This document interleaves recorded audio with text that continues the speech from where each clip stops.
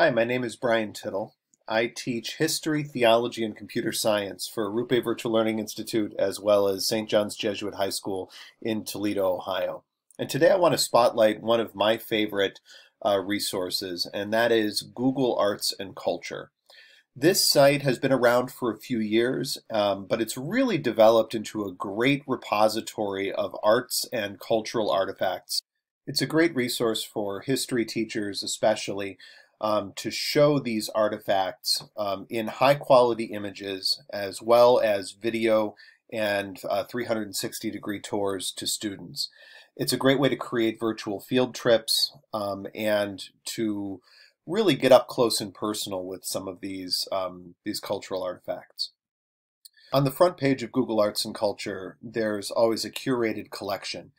Um, I am recording this video right now during the George Floyd protests on police brutality that are happening throughout the United States. And so you can see a lot of curated elements that have to do with civil rights history.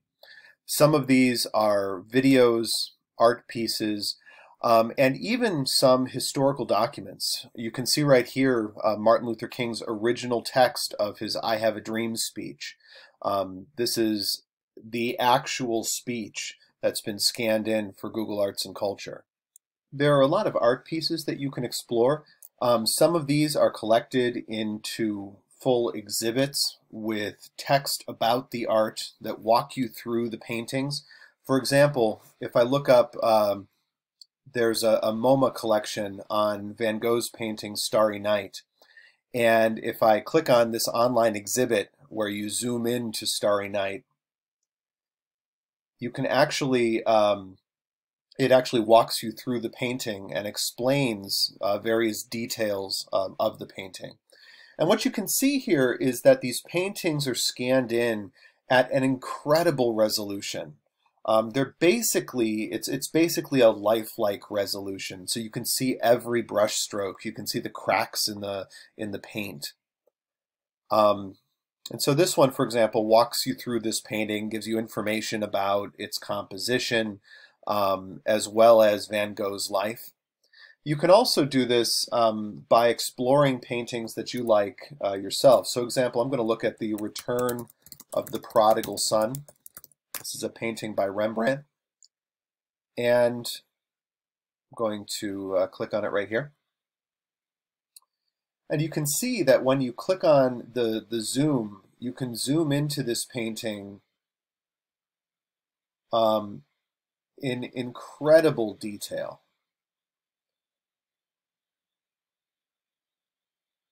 To the point where you're really seeing like one square inch of the painting just expanded.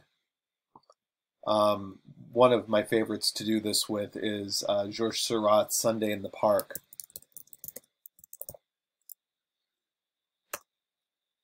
It's actually, um,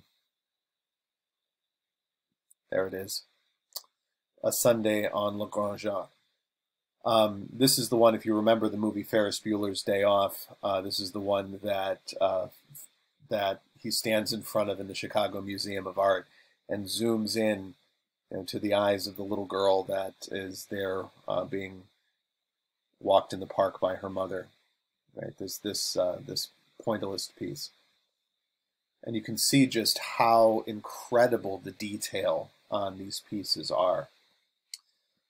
The other really nice thing about this um, is that for many of these pieces, especially for the more um, well-known pieces from the larger museums, you can actually view the museum in Google Street View.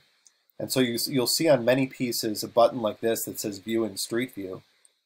And when you click on it, it will actually take you to uh, the street view of that piece at the Chicago Museum of Art, uh, the Art Institute of Chicago.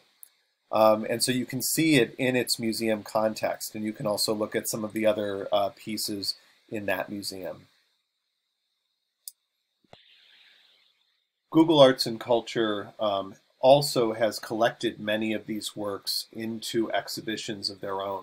So if you want to do something on, for example, Impressionist painting, just search for Impressionism and you can find collections from many different museums, um, but also online exhibits that pull together works from a variety of different museums in order to show a particular artistic movement or period. So we've got, for example, uh, French art from Delacroix to Cézanne. Um, so you can click on that and go through a story uh, about this art that um, really gives it gives articles about each piece and um, really allows you to explore some of these works. I also like Google Arts and Culture because it provides a lot of artifacts for various historical events. If you click on this uh, menu here, you can see that uh, there are sections devoted to artists, mediums, art music, art movements, historical events, and historical figures.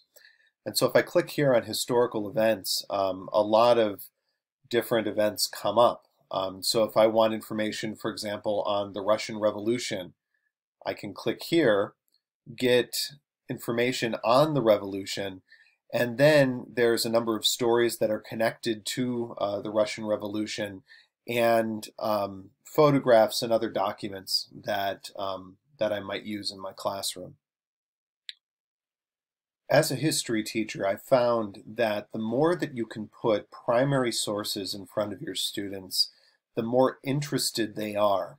Because these sources, these images, are a real tangible connection to the history. And Google Arts and Culture allows you to do that um, in a really incredible way. So I hope that this tool is useful for you and um, that you're able to use it in your own classroom. And I encourage you to explore Google Arts and Culture.